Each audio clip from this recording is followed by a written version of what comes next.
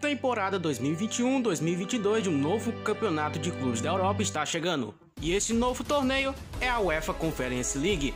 Será o terceiro torneio entre clubes mais importantes da Europa, atrás apenas da UEFA Champions League e da UEFA Europa League. Serão 184 equipes participantes que irão disputar esse novo torneio. Dessas 184 equipes, vindas das 55 associações nacionais de futebol do continente europeu, que são afiliadas à UEFA. Para a qualificação do torneio, várias equipes se classificam em determinadas posições de suas respectivas ligas nacionais e outras disputam após ser eliminado das fases preliminares da UEFA Champions League, onde é dividido em primeira fase preliminar, segunda fase preliminar, onde entram 20 times que foram eliminados das fases preliminares da Champions League, terceira fase preliminar e a fase dos playoffs, onde entram oito equipes que foram eliminadas das fases preliminares da Liga Europa.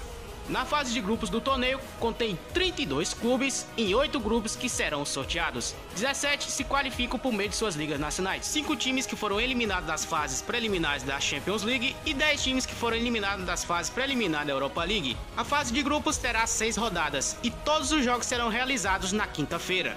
Para a qualificação para a fase do mata-mata, os primeiros colocados de cada grupo irão para as oitavas de final. O segundo colocado de cada grupo, junto com os times que foram terceiro colocado no grupos da Liga Europa, irão jogar os playoffs. Os vencedores se qualificarão para as oitavas de finais.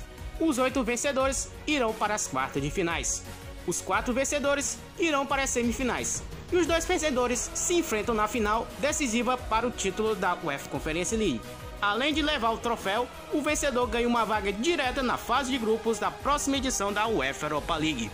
Aqui no Brasil, a transmissão do torneio será feita pela ESPN Fox Sports. Espero que tenham gostado desse vídeo, entendido como vai ser o sistema desse novo torneio e até a próxima. Falou!